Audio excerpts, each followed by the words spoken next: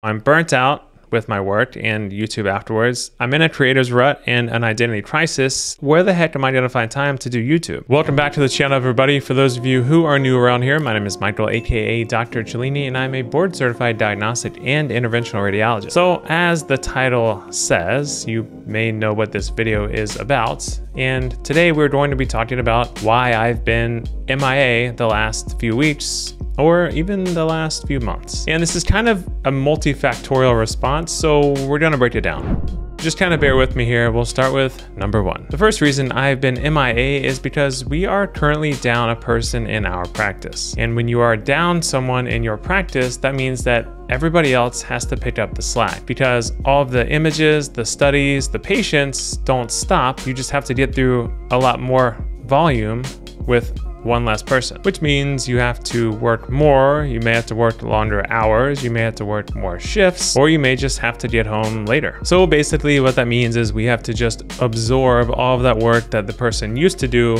And now it's just divided amongst all of us. And for those of you who don't know, I usually film my YouTube videos after working all day for the most part, or sometimes on the weekends when I have free time. But the problem is being down a person in my practice, having to work extra shifts or longer hours makes it a little hard to come home and want to work more doing YouTube. The last thing you want to do after working long hours and really hard shifts is to work more as you can imagine. And for those of you who don't know, planning out these videos takes quite a bit of effort. I have to research topics, write scripts, I have to film the video, I have to upload the videos, I have to talk with my editor, and it kind of takes a lot of time and energy. So after those brutal work days and while I'm still working out in the morning, which means I'm very tired by the time I get home at the end of the day, you can see why now that I was getting a little burnt out. It was almost like I was working until I rested my head on the pillow at night. I was literally working up until I went to sleep. And that's exhausting and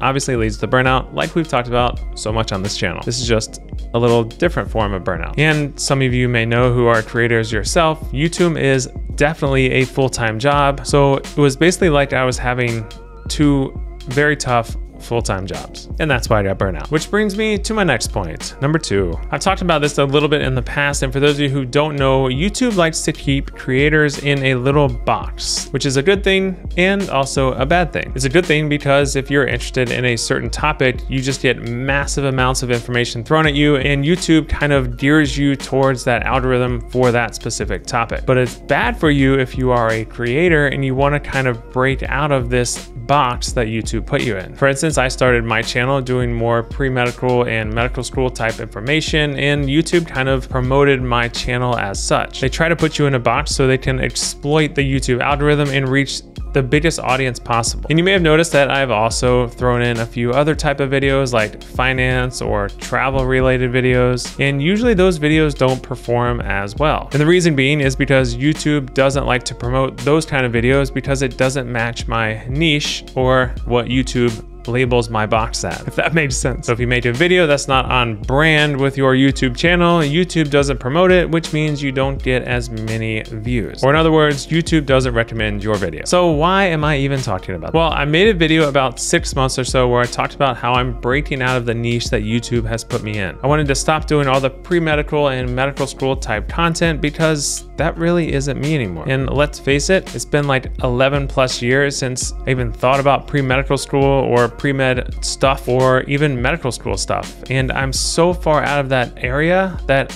I can't even really speak on it intelligently. And for that reason, you shouldn't be taking my advice about something I have no idea about. Just because I went through it 10, 11 years ago doesn't mean I know the current information that's available now. And honestly, I don't really care because that's not part of my life anymore. So in this whole process of me trying to break out of my mold for the past six months, I started posting other type of videos with different types of content from finance, travel vlogs, and messing around with things to see if they worked and see how I wanted to pivot my channel. It was awesome that I actually broke out of my mold or the box that YouTube put me in, and I was able to create content that I wanted to do and break out of my box. But then by doing so many types of videos, like days in the life, deep dives into medical cases, deep analysis on current events related to physicians, finances, etc., I basically just kind of found myself without a true identity. And it's almost like YouTube made it that way. And then this little thing called summer rolled around. All that time that I would have spent researching my videos and writing scripts, I was now living up the good sunny life of New Jersey. I live close to the beach, so I was at the beach after work.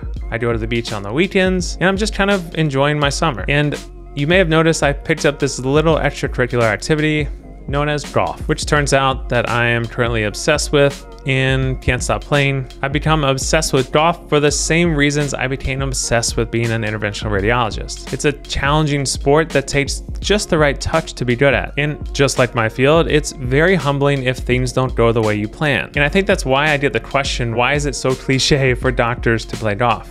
And I'm just part of that cliche. But then I figured it out. For me, it's just that. It's the thrill, it's the challenge, it's the dexterity, it's the mental toughness. All these things keep you wanting to get better and make you get back out there and play more. The only problem with golf is it takes around four plus hours to play 18 holes. So not only do I now have my wife angry at me, She actually doesn't care. She lets me play golf all the time. I also have no extra time for creating content. So I'm burnt out with my work and YouTube afterwards. I'm in a creator's rut and an identity crisis, and I also picked up golf. So where the heck am I gonna find time to do YouTube? Basically what I'm trying to say here is that doing all this stuff is the reason why I needed a break. And I basically took two months off with one or two videos here and there. But I can't take a break forever because after all, I worked extremely hard for many, many years to build this channel. It would be stupid to stop now, right? To stop now would be a disgrace and I would let my own self down and a lot of other people that enjoy watching my videos. And frankly, without you all, this channel would be nothing. And by the way, for those of you who haven't subscribed, go ahead and click the subscribe button right now. So after a long talk with Andriana last night,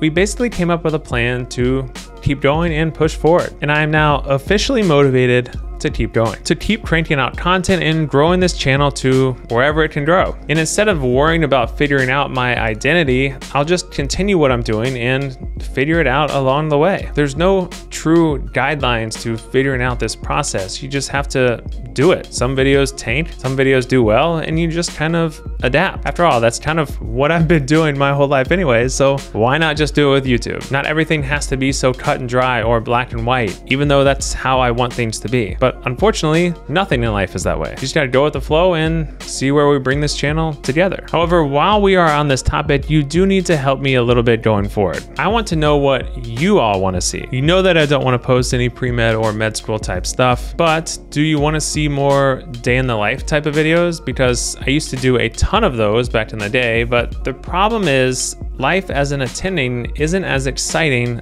on camera as life was in fellowship. I'm not up two in the morning, three in the morning, doing seven days straight of call, constantly going in the hospital, doing crazy complex cases. As an attending, you usually do more simple things, bread and butter cases, and don't get called in that often. And when you do get called in, it's not some crazy complex case in the middle of the night, a usual emergent case, which is why I haven't really filmed those day in the life type videos because I feel like you all would get bored. And honestly, I don't really know how to make them super creative because there's not really much going on. I just go to work, normal eight to five, do some cases, read some studies, and then go home. It's like the same day over and over again. I also kind of stopped doing those type of videos because every single person that's in the medical space on YouTube has now started doing those videos. And I don't like to do things that everybody else does. I want to do things a little differently set the trends rather than just keep following. Even though I was basically an OG day in the lifer. So I'm not saying I started that trend, but I definitely was one of the first people to do that and make it exciting. So what about the reaction videos that I usually do? I do like making them because they are educational for my audience, but again,